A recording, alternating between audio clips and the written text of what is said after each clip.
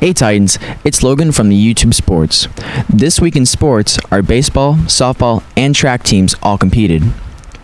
On Tuesday, our boys baseball team lost to the Lake Mary Rams 4 to 1. However, our softball team on the same day beat the DeLand Bulldogs 3 to 2. Go Titans. On Wednesday, our track team competed in the five star conference, and more with that goes to Vincent Babbage. Vincent? Thanks, Logan. On Wednesday, our track team competed in a five star conference. Unfortunately, our team could not take home the win, but we did have two conference champions. Lauren Thompson took home the win in triple jump, and John Darbyshire won the discus. Way to go, Titans! Thanks, Vincent. And that's going to be it for the Utube Sports. Have a great week, Titans.